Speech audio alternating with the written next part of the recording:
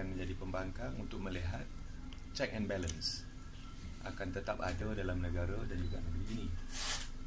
Kerana pengakhir ceritanya seperti yang selalu saya cakap, apa saja kita buat, baik kerajaan ataupun sesiapa, dasar-dasar yang kita buat, dasar-dasar yang kita rancang, pengakhir ceritanya adalah mestilah rakyat yang mesti mendapat manfaat.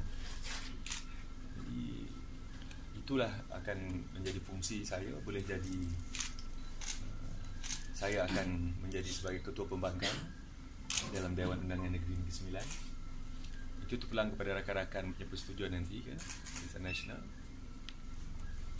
Dan uh, kami akan regroup tadi petang ini saya akan ada mesyuarat perhubungan UMNO Negeri Sembilan. Dan 2-3 hari nanti saya akan adakan mesyuarat Barisan Nasional Negeri Sembilan untuk kita regroup kami regroup semula supaya jangan patah semangat ya, supaya uh, hasrat untuk kita berjuang hasrat untuk kita berbakti kepada masyarakat akan terus dapat kita hidupkan dan lima tahun tak lama five years is not long okay? uh, even though I'm down but don't count me out yet okay I'm not out yet ya yeah? uh, kerana kita bukan perjuangan atas asas individu ataupun pribadi. Kita nak pastikan supaya yang mendapat manfaatnya nanti ialah yang ketujuh. Dan di Negeri Sembilan ini yang saya ucapkan kepada yang berhormat saudara Aminuddin kerana telah pun diperkenan oleh William Mahamudin Tuanku untuk menjadi Menteri Besar yang baru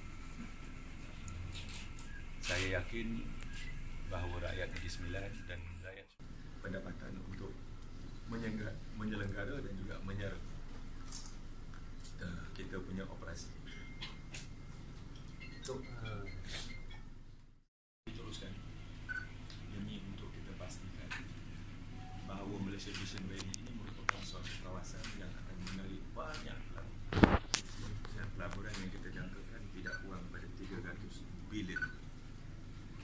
dia boleh menawarkan peluang pekerjaan yang baru lebih kurang 1.3 juta.